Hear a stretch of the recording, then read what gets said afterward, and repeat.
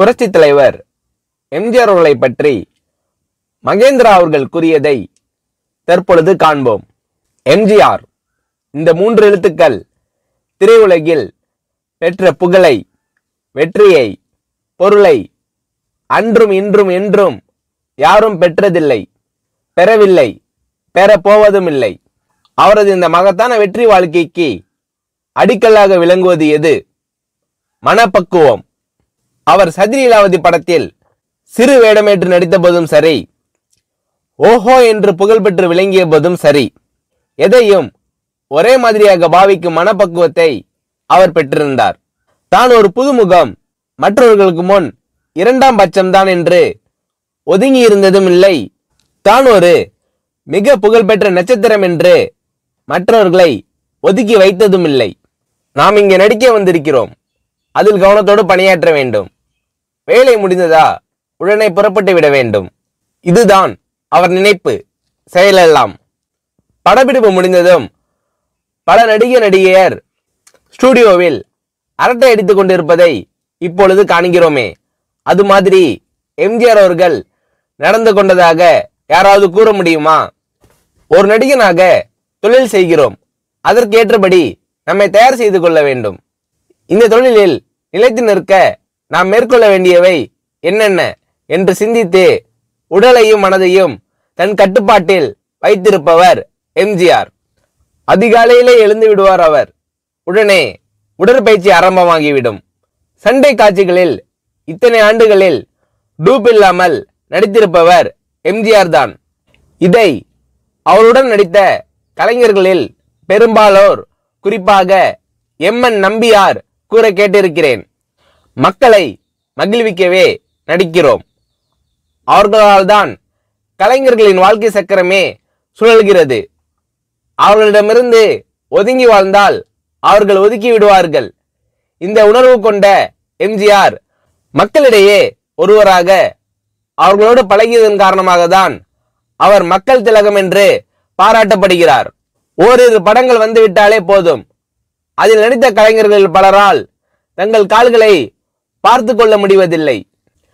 கதாநாயகனாக நடிக்கும் தகுதி நொந்தி காரணமாக இல்லாமல் போய்விடுகிறது. படத்தில் அப்பா வேடம் குணச்சித்திர வேடம் என்று நடிக்க போய்விடுகிறார்கள். ஆனால் எம்ஜிஆரை பற்றி யாராவது இதுவரை அப்படி சொன்னதுண்டா? எந்த வயதினர் வேடத்திலும் சோபிக்கக்கூடிய வகையில் உடலை கட்டுக்குலையாமல் வைத்திருந்தார். இன்றும் வைத்திருக்கிறார். ஒரு படம் திரையிடப்பட்டிருக்கிறது. சுமாரான பெயர். வேறொரு படத்தில் நடிக்க இந்த படத்தின் கதாநாயகருக்கு அழைப்பு வருகிறது. அந்த நடிகரின் கையிலே சிகரெட் பக்கத்திலே மது வகைகள். இப்படி உடலும் கெட்டு பொருளும் கெட்டு திண்டாடும் நிலைமையை உருவாக்க இரண்டாவது படத்துக்கு அழைப்பு வரும்போதே அஸ்திவாரம் போட்டுக்கொண்டு விடுகிறார். ஆனால் எம்ஜிஆர் இவற்றையெல்லாம் பயன்படுத்தியதில்லை என்பது மட்டுமல்ல அவர் இதை பற்றியெல்லாம் சிந்தித்து கூட பார்த்ததில்லை என்பது குறிப்பிடத்தக்கது. தன் தாயை தெய்வமாக போற்றி வணங்கி அவர் காட்டிய பாதையில் இன்று வரை தன் பயணத்தை தடங்கள் எதுவுமின்றி தொடர்பவர் எம்ஜிஆர். தொழில் செய்ய முடியாத என்ற அளவுக்கு ஊனம் ஏற்பட்டுவிடும் விபத்தை சந்தித்தார். காலில் ஏற்பட்ட முறிவு பன்மடங்கு பலத்தை கொடுத்தது.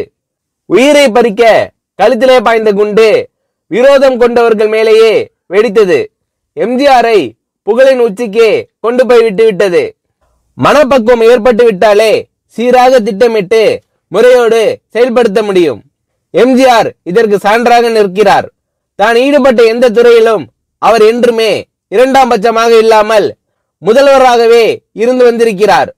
இன்று தமிழக முதல்வராகவும் ஆகியிருக்கிறார். உலகிலேயே ஒரு நடிகர் கட்சி ஆரம்பித்து தேர்தலில் போட்டியிட்டு பெருவாரியான ஓட்டு வித்தியாசத்தில் வெற்றி பெற்று கட்சிக்கும் மாபெரும் வெற்றியை தேடி தந்து அரசு கட்டிலில் அமர்ந்தார் என்ற சாதனையை செய்து காட்டிய ஒரே நடிகர் எம்ஜிஆர் தான். ஒரு நடிகராக திரையுலகில் நுழைந்த எம்ஜிஆர் தயாரிப்பாளராக டைரக்டராக மாபெரும் வெற்றிகளை குவித்தார். அவர் பட உலகின் எல்லா துறைகளிலும் முதிர்ந்த தேர்ச்சி பெற்றவர்.